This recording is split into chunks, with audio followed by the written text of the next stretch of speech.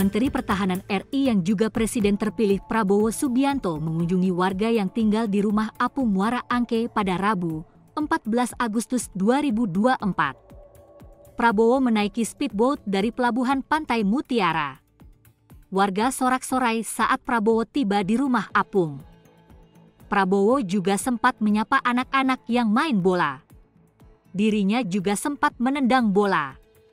Para warga di Muara Angke sebelumnya tinggal di rumah dalam kondisi tidak layak huni dan kumuh. Namun kini mereka sudah tinggal di rumah apung yang diinisiasi Prabowo dengan bekerja sama dengan Universitas Pertahanan.